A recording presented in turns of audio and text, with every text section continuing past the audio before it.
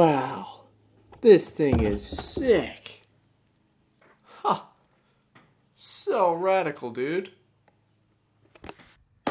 I have not bought a new camera in a really long time. I think it's been close to eight years, and even then it was a Canon 6D, and it was discounted at the time because it was a fairly old model. I've considered myself a photographer for 10 years or so, and that goes to show that I haven't been keeping up with the best gear. Although I do have to say that I worked at an agency between beginning photography and where I'm at now, so I didn't have to purchase my own gear for working there.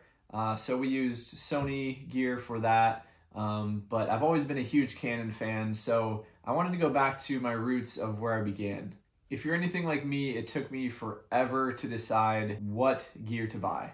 I bashed my head off of this idea for far too long and finally decided that I need to just pull the trigger because so many of the recent cameras are incredible pieces of equipment and are more than capable of creating amazing films and photographs. So with the price point that this Canon 60 Mark II came in at, including the 24 to 105 lens, it just seemed like a no-brainer for an all-around travel compatible lightweight setup that could do both video and photo very well. So that's kind of why I went with the Canon R6 Mark II.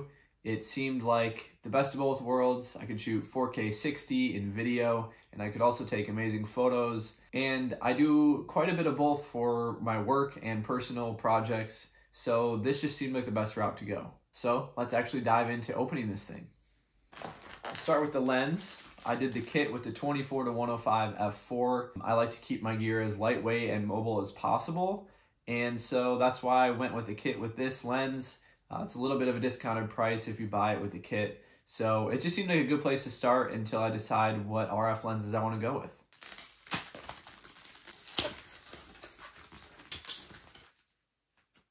Right off the bat, I'm super stoked about the size of this lens.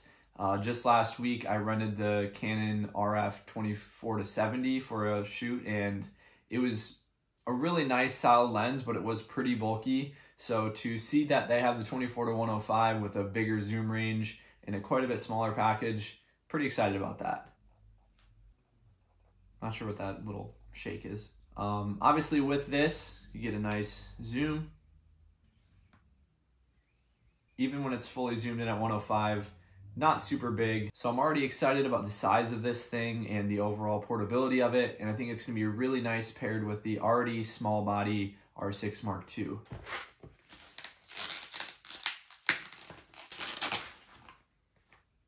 Woohoo! She's purty. I really like the way that these new Canon cameras uh, feel in the hand. And I do like they're a little bit smaller, a little bit more compact, a little less bulky than the old um, DSLR lineup. Another huge thing I wanted with the R6 Mark II was the flip out screen. And then obviously it kind of rotates and oscillates. This is a huge feature that I always use for video for sure, and even with photos more so nowadays. When I got used to the Sony cameras that I used to use, I kind of became very used to using the LCD for uh, photography rather than looking through the viewfinder all the time, just because it gave me a lot more angles to play around with. I could hold the camera down low, I could hold it, hold it up high, and I wouldn't have to be looking through the viewfinder in order to snag a good photo. Another big selling point for this, for me, was the easy toggle between photo and video on this side. Um, I think that'll be a really nice feature as I do swap pretty often between the two, hopefully make it more efficient. All right, let's throw the lens on the camera let's pair this thing together.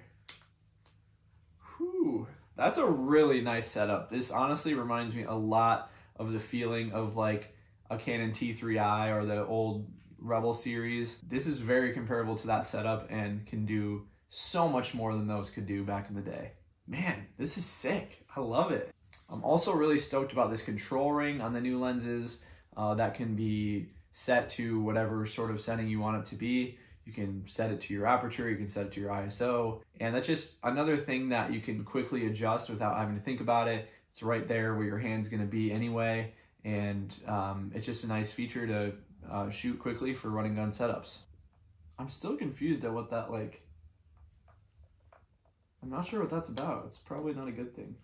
I do have to say that the body feels a little bit cheap. It feels a little plasticky. Don't think it's a big deal. I think they're really solid and will be able to hold up to the elements. But I will certainly be putting them to the test in that way because I am outside shooting, whether we're shooting fishing or in the van or any kind of adventure that we're on.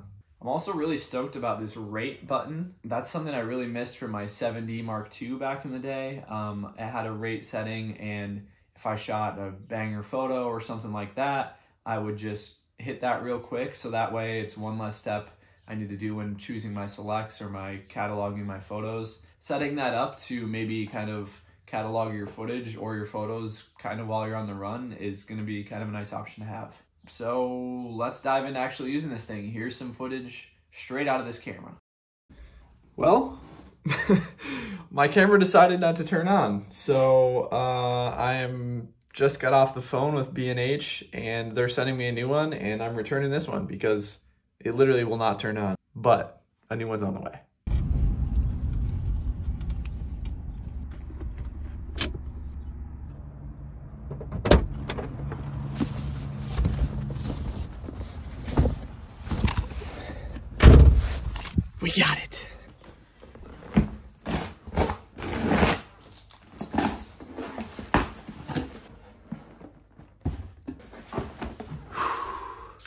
Gonna try this again and see if this camera actually works. Looks just as beautiful as the first one. Maybe not inside, but on the outside.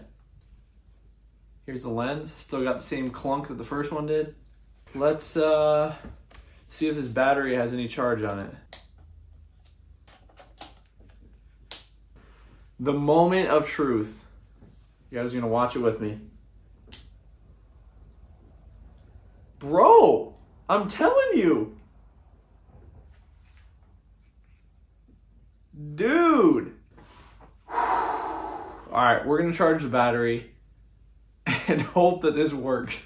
All right, it's been about an hour. The battery was charging the whole time. It said it was at about 50% with the two blinks on the charger.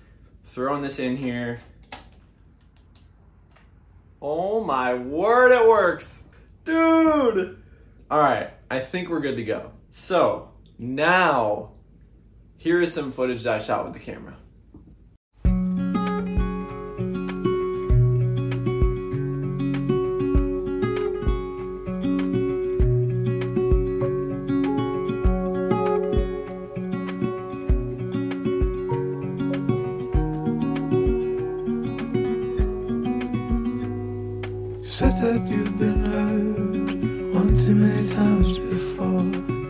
I'm staying in the bathroom.